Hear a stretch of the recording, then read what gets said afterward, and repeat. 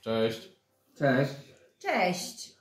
Maćku, ja już mam dosyć tych ciągłych telefonów, ciągłych e, wiadomości od nauczycieli. Dzisiaj dzwonił pan od WF-u. Ja zaraz osiwieję. Normalnie do psychiatryka mnie zamkną. Co się stało? No niech mówi.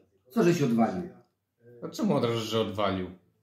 Po prostu poszedłem sobie do dziewczyn do szatni na WF-ie, no przed WF-em. No i siedzieliśmy tam na przerwie, siedziałem tam razem z dziewczynami, no i y, akurat jak wychodziłem, to przychodził pan od WF-u i mówi, chodź. No i taką litanię trochę mi odprawił. Powiedział, że to jest wbrew regulaminowi szkoły, że nie, nie mogę tam być. No i muszę zapłacić 10 zł kary. A za każdym ra- następnym razem o 5 zł więcej, czyli później 15, później 20 i tak dalej, i tak dalej. No. No i ja mówię do niego, panie, bądźmy ludźmi. Ja cenię sobie pana czas i porozmawiajmy o tym jak dorośli. I powiedziałem mu tak. Ile kosztuje karnet za cały semestr?